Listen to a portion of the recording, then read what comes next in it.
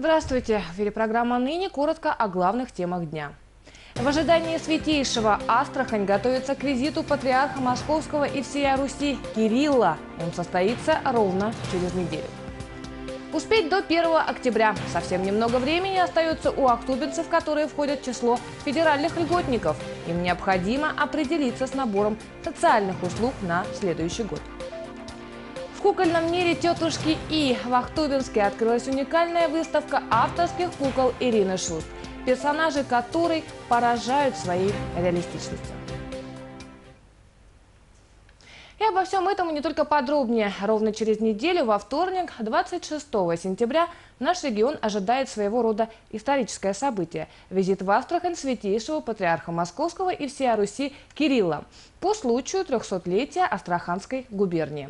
История губернии 20 и 21 веков отмечена тремя визитами патриархов Русской Православной Церкви. Эти события вошли в летопись нашего края как наиболее знаковые.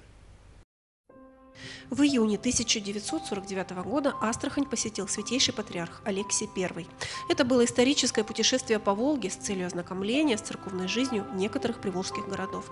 Главной его целью был город Сталинград, откуда Алексий I отбыл на пароходе, взявшем курс на Астрахань.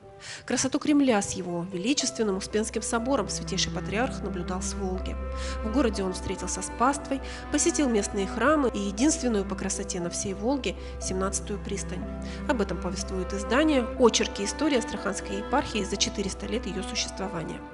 Следующий визит главы Русской Православной Церкви в Астрахань случился почти через 50 лет, в октябре 1992 года. Лихие 90-е – так сегодня именуют этот период в жизни нашей страны. Святейший патриарх Алексий II встретился с астраханцами у стен Успенского собора, посетил детский дом номер 2 на улице Яблочкова. Далее, как описывает это событие пресса тех лет, в Большом зале администрации состоялась встреча с депутатами местных советов народных депутатов. Со словами приветствия к патриарху обратился глава областной администрации Анатолий Петрович Кужвин. В наше сложное время реформы, перемен человек-труженик особенно остро нуждается в добром напутствии и поддержке. Уверен, что вашего благословения ждут и с благодарностью воспримут все астраханцы, верующие и неверующие. В рамках визита прошла встреча святейшего патриарха с представителями мусульманских конфессий, а на следующий день в Успенском кафедральном соборе совершен чин вручения архиерейского жезла и рукоположения епископа Астраханского и Янатаевского Ионы. Ровно через 10 лет, в октябре 2002 Алексей II вновь почтил своим визитом Астрахань. Это был год 400-летия Астраханской епархии. Теракты в Москве существенно изменили фон, на котором происходили празднества, тем более, что сам визит начался 26 октября, в день штурма театрального центра на Дубровке, захваченного террористами. В Кремле в Успенском кафедральном соборе патриарх совершил молебен, по завершении которого отметил, что только после известия об освобождении заложников было принято окончательное решение о том, что запланированный визит состоится. В рамках визита Алексей II посетил Иоанно-Притеченский мужской монастырь, социально-реабилитационный центр для девочек, встретился с преподавателями и студентами АГТУ. И вот минуло 15 лет. Губерния в год своего 300-летия снова ожидает в гости главу Русской Православной Церкви, святейшего патриарха Московского и всея Руси Кирилла. Приезд святейшего планируется, как правило, за год или более. Губернатор и правящий митрополит, следуя установленным правилам, будучи у него на приеме, лично пригласили его на торжества. Двухдневная программа первосвятительского визита в Астраханскую метрополию патриарха на сегодняшний день примерная. В нее входит посещение астраханских храмов и Благовещенского Новодевичьего монастыря, освящение места под новый храм, а также осмотр казачьего кадетского корпуса в селе Началово. Примерная программа опубликована в новом выпуске газеты «Епархиальные ведомости», которые в ближайшее время можно будет приобрести в местных храмах. Программа визита есть и в газете «Ахтубинская правда». Местная епархия планирует организованный выезд паломников на патриаршие богослужения. Епископ Ахтубинский и Янатаевский Антоний, как правящий архиерей Ахтубинской епархии, наряду с главой Астраханской митрополии примет участие в богослужениях и будет сопровождать святейшего на всех запланированных мероприятиях. Совсем немного осталось времени у федеральных льготников для того, чтобы определиться с перечнем социальных услуг. А кому они положены, на эту тему мы поговорим с начальником отдела назначения и перерасчета пенсии Управления Пенсионного фонда России в Ахтубинском районе. Людмила Владимировна, здравствуйте. Здравствуйте. Кому положены федеральные льготы? Начнем с этого вопроса. Ну, в первую очередь, давайте остановимся, конечно же, на категориях, чтобы зрителю было понятно, кто же относится к федеральным льготникам. В первую очередь, это, конечно, участники инвалиды Великой Отечественной войны, супруги, которые получают уже вдовы участников и инвалидов Великой Отечественной войны, тоже получают ежемесячную денежную выплату, ветераны боевых действий, несовершеннолетние, совершеннолетние узники – концлагерей. А, значит, граждане, которые были награждены значком житель блокадного Ленинграда, инвалиды, в том числе дети-инвалиды, участники, ликвидаторы а, ЧС. То есть спектр, ну, скажем так, я назвала сейчас основные категории федеральных льготников. Значит, ежемесячная денежная выплата и выплата этим льготникам, она была установлена еще с 1 января 2005 года, то есть уже пошел, скажем так, второй десяток лет, когда мы осуществляем эту выплату одновременно с выплатой пенсии. Ничего такого особенно нового в этом направлении не появилось, но так как у нас сейчас на дворе сентябрь, и к нам приближается дата 1 октября, хотелось бы в очередной раз разъяснить гражданам и напомнить им о том, что они могут отказаться от соцпакета, который выплачивается дополнительно к ежемесячной денежной выплате, либо возобновить э, предоставление этих услуг в натуральном виде. В каждую категорию льготников э, сказать, что у них одинаковая сумма выплаты, естественно, это будет неправильно. В зависимости от категории федеральный закон, естественно, устанавливает для каждой категории свою ежемесячную денежную выплату. Э, но соцпакет, который выплачивается дополнительно к ежемесячной денежной выплате, носит, скажем так, такой фиксированный характер. И граждане могут воспользоваться этим набором социальных услуг двумя способами. Первый способ, они получают все эти услуги, которые входят в этот набор, а на них мы сейчас остановимся чуть попозже, в натуральном виде, бесплатно. Либо они могут отказаться от набора социальных услуг как в полностью, так и в какой-то ее из частей, и получать э, значит, возмещение в денежном эквиваленте. Итак, э, что же входит в набор социальных услуг? Это три услуги. Первое это обеспечение лекарственными препаратами, которые входят в определенный перечень. То есть это не все-все лекарственные препараты, которые входят в определенный перечень, который устанавливается соответствующим нормативным правовым актом. Э, вторая услуга – это проезд на санаторно-курортное лечение – и третья услуга – это бесплатный проезд на пригородном железнодорожном транспорте, но, к сожалению, в нашем районе как бы пользоваться этой услугой граждане не имеют такой возможности. Либо проезд э, до места санаторно-курортного лечения туда и обратно.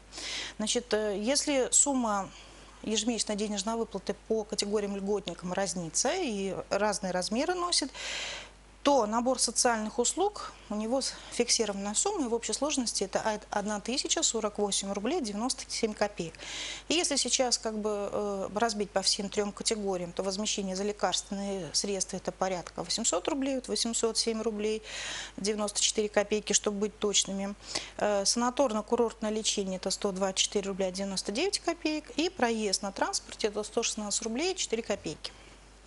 Как я уже сказала, что гражданин каждый год может принимать решение, каким образом пользоваться этим соцпакетом. Либо получать бесплатно вот эти перечень услуг, либо отказаться. Но э, есть такой маленький нюанс и особенность, что для того, чтобы получать возмещение тех услуг опять скажу, полностью, либо в какой-то ее части, каждый год до 1 октября текущего года, так как, ну, естественно, на следующий год уже начинает формироваться федеральный регистр льготников с учетом отказа от соцпакета, либо его получения в натуральной форме, гражданин должен обязательно подать заявление. Почему 1 октября, я уже сказала, то есть заблаговременно пенсионный фонд начинает уже готовить списки будущих федеральных льготников с учетом их пожеланий уже на следующий год. А, значит, каким образом нужно подать заявление? Заявление тоже два вида. Первое – это отказ, второе – это возобновление. То есть либо человек не всегда получал в натуральном виде и потом решил получать в денежном эквиваленте, он пишет отказ, либо если он до этого получал в денежном эквиваленте, но ему по каким-то причинам нужно приобретать там бесплатное лекарство, он может написать заявление другого содержания о возобновлении предоставления услуг в натуральной форме. То есть здесь все исключительно носит как бы индивидуальный характер, и человек, гражданин, пенсионер, получатель ЕДВ сам принимает решение, каким образом ему воспользоваться. Если гражданин до 1 октября текущего года предоставляет либо то, либо другое заявление, оно, естественно, рассматривается, и уже с 1 января 2018 года он начинает получать деньги, либо услуги. А, Поэтому э, хотелось бы вот, ну, прям очень такое усиленное внимание привлечь граждан, потому что иногда бывает, что гражданин немножко упускает эту информацию, и потом, когда наступает следующий текущий год, возникают вопросы, а для некоторых граждан порядка тысячи рублей это достаточно, ну, скажем, такая сумма, которую бы они хотели ежемесячно получать. Те граждане, которые уже в свое время отказались, например, их устраивает тот момент, что они ежемесячно, ежегодно получают в денежном эквиваленте эту сумму, приходить и в пенсионный фонд и подтверждать свое заявление, например, которое написал в 2014, в 2015, ну там начиная с 2009 года. То есть если до 2009 года это заявление граждане писали ежегодно, как бы они подтверждали свое желание пользоваться деньгами либо лекарствами, то с 2009 года абсолютно нет такой необходимости. Если вы уже когда-то приняли решение, вас устраивает или ничего не хотите менять, тогда, ну, скажем так, заявление это пролонгируется на следующий год, и автоматически выплаты будут начи- начислены с учетом ваших пожеланий. Конечно же, вот это э, 1 октября каждого года, это очень серьезная дата для тех, у кого последовало новое назначение ЕДВ в текущем году. Как правило, многие определяются уже с подачи заявления на ЕДВ, как, что они будут делать с соцпакетом. Некоторые думают до 1 октября. Поэтому прошу обратить особое внимание, что у нас осталось буквально уже 10 дней для того, чтобы принять это заявление. Теперь возникает вопрос, каким образом можно подать заявление? Первый способ – это непосредственно обратиться в клиентскую службу управления пенсионного фонда в Ахтубинском районе. Конечно же, при себе надо иметь документ, удостоверяющий личность, страховое свидетельство и подать соответствующее, обратиться к специалисту клиентской службы, будет сформировано соответствующее заявление, там беседы, если вдруг возникают какие-то вопросы, разъяснения будут исчерпывающие даны, это заявление будет обработано. Второй способ подачи данного вида заявления – это электронные услуги. То есть, имея доступ на портал госуслуг, в личный кабинет гражданина, в принципе, можно избежать вот необходимости появляться в клиентскую службу, тратить свое время и э, таким образом подать через электронные услуги заявления, и уже, которые, соответственно, будут уже при поступлении к нам уже обработаны специалистом, соответствующая информация будет внесена на лицевой счет. До 1 октября дата не меняется, и если вдруг у человека какие-то препятствия, и он не может прийти в пенсионный фонд или заполнить в электронном виде, э, поблажек не будет. Нет. После 1 октября человек может обратиться, но тогда уже будет речь стоять о том, что заявление данного рода будет уже действовать с 1 января 2019 года. Если вдруг, я, конечно, понимаю, что федеральная льгота, основная масса получателей, это все-таки инвалидные. Это и дети-инвалиды, инвалиды и первой группы, и второй, и третьей, иногда не ограничены в передвижении. То есть если у них нет возможности пользоваться электронными услугами. Есть еще один вариант, что в таком случае может прийти законный представитель в пенсионный фонд, но у которого, конечно, будет документ, который будет подтверждать его законные права представителя, и уже имея вот эту доверенность на руках, тогда, в общем, от лица этого гражданина предоставить заявление, то есть как бы передать волю, это все будет обратно. То есть есть еще такой исключительный вариант, в случае, если действительно гражданину тяжело очень попасть в пенсионный фонд, написать это заявление. Людмила Владимировна, спасибо вам за информацию. Ну, а мы продолжаем дальше. В Ахтубинском районе стартовал единый день пенсионной грамотности для учащейся молодежи. Руководство и специалисты территориального отделения пенсионного фонда проводят открытые уроки в разных учебных заведениях. Сегодня они побывали в филиале автомобильного автодорожного колледжа. С подробностями Татьяна Фомина. Конечно, вчерашние девятиклассники с трудом представляют себя пенсионерами и свое денежное обеспечение после многолетних трудов. Нам еще рано, нам даже 18 нет, какая нам пенсия. Однако, немного поразмыслив, юноши и девушки приходят к выводу, что заботиться о собственной пенсии все-таки нужно с молоду. Годы учебы пролетят быстро, настанет день трудоустройства, с которого-то все и начнется. Двигаться в жизни по белой либо по серой заработной полосе каждый волен выбирать сам. Автоматически будет выбрана и пенсия. Но когда нужно устраиваться на работу, нужно просить белую зарплату, а не зарплату в конверте. Для чего это нужно? А, Чтобы в будущем пенсия была больше. Все о будущей пенсии для учебы и жизни. Учебно-методическое пособие для старшеклассников и студентов. Каждому в руки. Красочное издание может стать настольной книгой для любой семьи. В доступной форме на простых примерах рассказано о пенсионной формуле, о вариантах пенсионного обеспечения, приведены расчеты пенсионных баллов за год. В дополнение к брошюре памятка о получении услуг пенсионного фонда в электронном виде через личный кабинет застрахованного лица. Наше управление пенсионного фонда вот э, прибыло в колледж, чтобы ознакомить молодое поколение, для чего нужен СНИЛС, э, для чего нужен трудовой договор, э, для чего надо эти все документы, чтобы в дальнейшем у них была нормальная трудовая пенсия. О госуслугах, какие можно получить в пенсионном фонде государственные услуги в электронном виде. Учащиеся автодорожного колледжа далеко не единственные участники занятий, проводимых специалистами в рамках единого дня пенсионной грамотности. По согласованию с управлением образования составлен график открытых уроков. Они пройдут и в городских, и в сельских школах. День открытых дверей для молодежи состоится в управлении пенсионного фонда. В ходе встречи они порой задают те вопросы, которые интересуют их мам, пап, бабушек и детей. Это очень, кстати, хорошо. Но, естественно, мы э, говорим, чем занимается управление пенсионного фонда, какие направления у нас в работе. У нас же и назначение пенсии, и материнский семейный капитал, и страховые взносы. То есть у нас ну, много э, услуг, которые мы оказываем населению. Поэтому ну, молодежь заинтересована и задает вопросы. Татьяна Фомина, Анатолий Калинкин и Евгений Еловенко. Ахтубинск ТВ. Ну а мы идем далее. Уже известно, как в Ахтубинске будут праздновать День города и 150-летие со дня образования поселка Петропавловка. Праздничная программа рассчитана на два дня. Мероприятия пройдут на трех основных площадках. 22 сентября, это уже в эту пятницу, в 7 часов вечера, торжественное открытие набережной в поселке Петропавловка. 150-летию поселка Речников будут также посвящены праздничные мероприятия.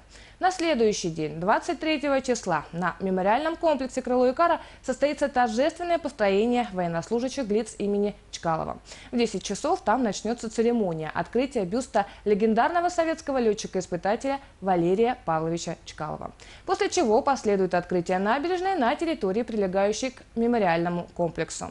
И, наконец, завершающим этапом празднества станет традиционное массовое гуляние – в 19 часов на площади Ленина стартует большая концертная программа. Запланировано выступление эстрадного певца и музыканта из столицы Руслана Олехну.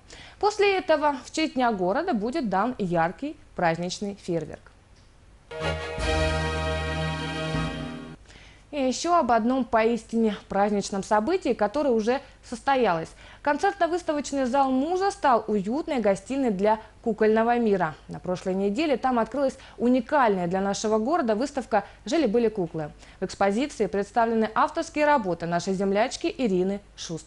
Глубокие и многоплановые, подвижные фигурки выполнены вручную, каждая в единственном экземпляре. Ахтубинцы не упустили возможность познакомиться с миниатюрной жизнью сказочных персонажей.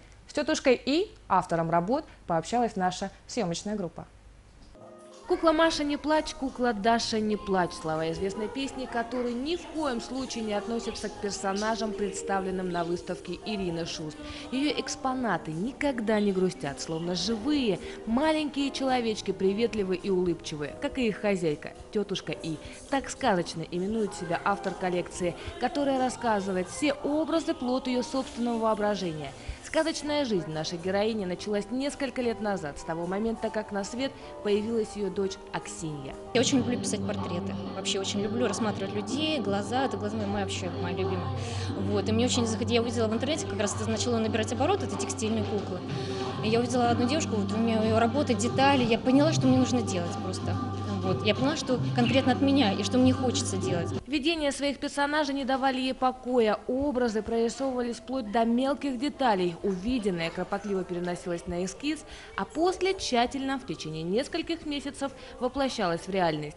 Сейчас в коллекции мастера около 500 кукол. На второй выставке «Жили-были куклы» представлена лишь небольшая ее часть. К слову, первый показ в Ахтубинске прошел пару лет назад. Выполненные из текстиля фигурки тогда были не по неподвижны. Сегодня, благодаря приобретенному со временем опыту, они стали настоящими маленькими человечками.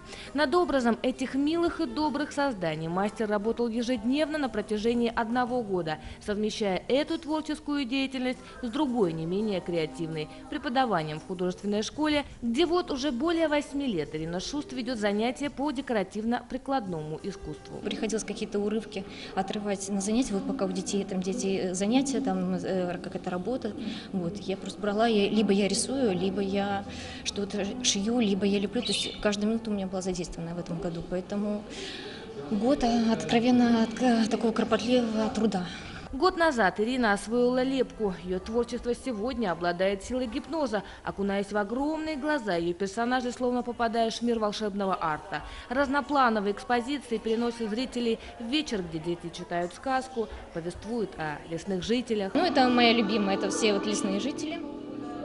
Бабушки, дедушки, грибочки, там кто-то, мымры ольховые лесовички, вот это, это отдельная история. Вернуть взрослых в мир детства с помощью своих сказочных персонажей – главная идея выставки. Еще увидеть, цитирую, «Сколько нас таких крылатых?» Оказалось, полный зал. Посетители выставки любовались изящной техникой и не только. Каждый из них мог сполна ощутить внутренний мир кукол. Фиалковая нежность, пани Вероника, Авдотья Макаровна, художница Ирина Шуст наполнила каждого персонажа своей эмоцией. Мудрые, трогательные, нежные, романтичные, в каждой своя душа и свой характер. Ее экспонаты передают добрую энергетику, рассказывают свою историю жизни. Как будто в сказке побыла. Уникальная выставка, потрясающая. Приятно, что у нас такие есть творческие люди в Ахтубинске. Выделили что-то для себя? Мне вот очень нравится дедушка. Я просто вот смотрю на него, как можно было эти морщины все так вот выложить, такие эмоции, ну просто потрясающие. Вообще здорово то, что куклы необычные, нестандартные, сказочные больше.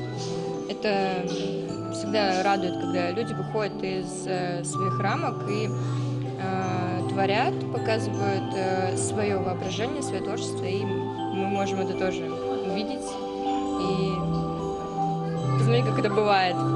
Красота. Вообще интересно, как все создано. Я даже не пойму, пеликан, она сами тоже уникум просто. То есть настолько все детально, да? Да, да, да. Я думал, вообще заводской надо. При- Пришли, там, в магазине купили, посадили.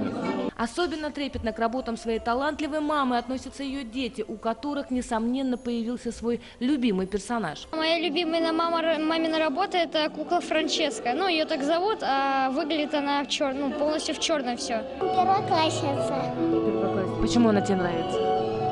потому что она похожа на меня. Восхищение работами своей коллеги высказали и педагоги художественной школы. В числе посетивших выставку поклонники Ирины Шуст. Те, кто с удовольствием продолжает приобретать ее куклы в качестве подарка своим близким. Каждый год в нашей Вадюше день рождения дарим куклу Ирины Шуст. И вот ей исполнилось 4 года, в декабре ей будет 5, и у нас маленькая выставка дома. И даже больше сегодня куклы нашей землячки проживают свою жизнь в разных частях мира. В планах у мастера провести выставку своих работ в других городах. А еще начать иллюстрировать детские книги, где ее герои обретут свой бумажный мир, дорогу в который им подскажет их любимая тетушка Ей. Приглашаю всех посетить эту выставку. Она еще у нас здесь будет выставлена а, ну, неделю точно. Вот приходите, смотрите, порадуйтесь вместе с нами. И у меня на этом все новости. Будьте в курсе событий города района вместе с Ахтубинск ТВ.